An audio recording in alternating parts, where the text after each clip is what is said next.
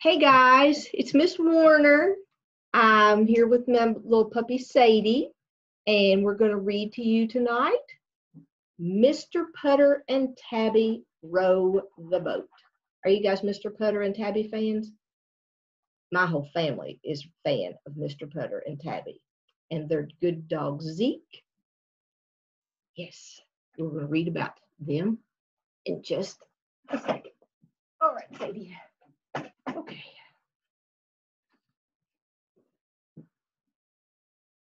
Mr. Putter and Tabby row the boat by Cynthia Rylant. Sweaty. It was summer. Look, he's in his hammock. And Tabby is in the tree. We have some hammocks here. Matter of fact, Riley got a hammock for her birthday that has lights around it so she can go out when it's dusky. The weather was very hot. Mr. Putter and Tabby and his fine cat Tabby lay around all day and sweated. I'm not sure sweated is a word. They sweated on the front porch, they sweated in the kitchen, and they sweated under the oak tree.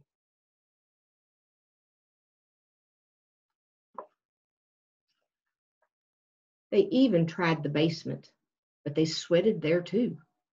We're too old to sweat like this, Mr. Putter told Tabby. We shouldn't have any sweat left in us. But they did, and they were miserable.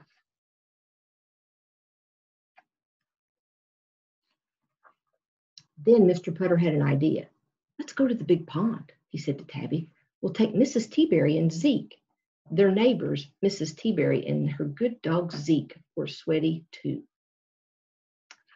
Mr. Putter was sure of it because he had just seen Mrs. Teaberry dump a whole bowl of water on Zeke's head. He went to Mrs. Teaberry and told her his idea.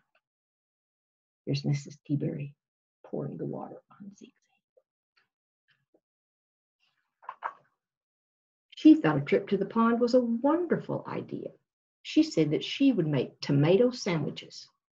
She would fix kiwi salad, and she would fill a jug with apple tea. She has some odd foods, though I do like tomato sandwiches. Mr. Putter smiled. He liked Mrs. Teaberry's funny food.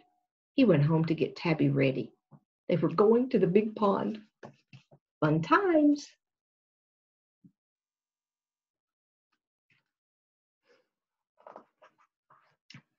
The big pond was not far away. So Mr. Putter and Tabby and Mrs. Teaberry and Zeke walked it was a hot walk. It was a sweaty walk. It was a slow walk. But it got exciting. Look, they're carrying Tabby on their picnic basket.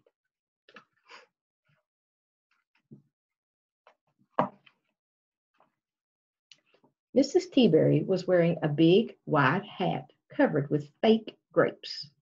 A blue jay kept trying to steal the grapes. He swooped down and grabbed Mrs. Teaberry's hat from her head. Shoo, said Mrs. Teaberry. Scat, said Mr. Putter. Tabby and Zeke were too hot to do anything. Mr. Putter and Mrs. Teaberry couldn't help laughing at the silly bird. Finally, Mrs. Teaberry gave it some kiwi salad, and it flew away. Kiwi is one of my favorites.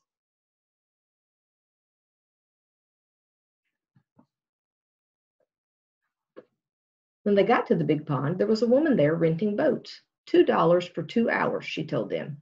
Mr. Putter and Mrs. Teaberry looked at each other. What a deal, they said. They loaded up Tabby and Zeke and lunch and rode away. Tabby curled up under one of the seats. Zeke tried to drink out of the pond. Mr. Putty, Putter and Mrs. Teaberry headed for a good, shady place. Now, most of the time, cats do not like water.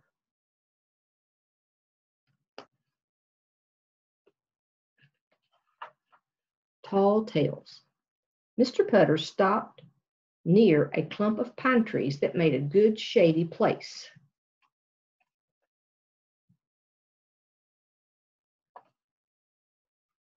When they reached the place, Mrs. Teaberry took off her hat. Many of her fake grapes were missing now, but she didn't mind. She filled the hat with water and dumped it on Zeke's head. Zeke loved it.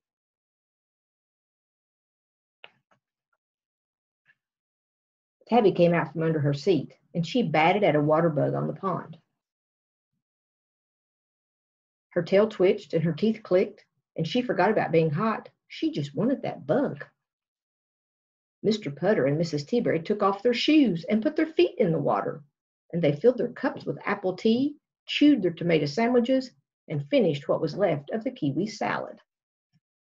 Looks like a nice picnic, doesn't it?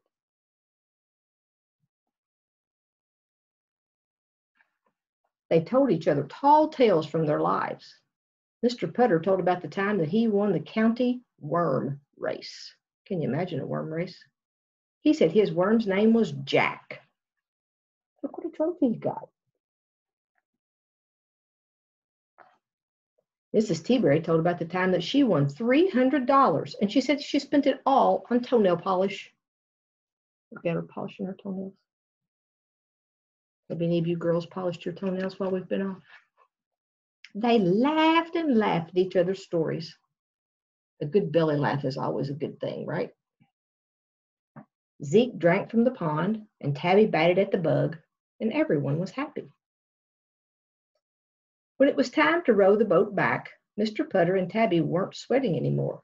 Mrs. Teaberry and Zeke were cool as cucumbers. The trip had been a success. Oops, forgot to show you the picture.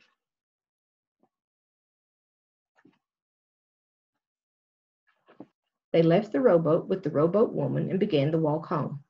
It was a hot walk. It was a sweaty walk. It was a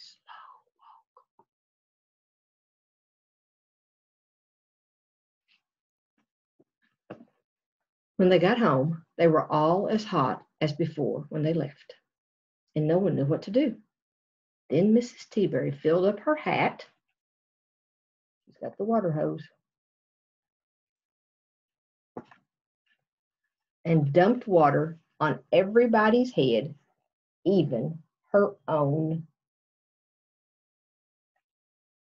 And they all felt much better.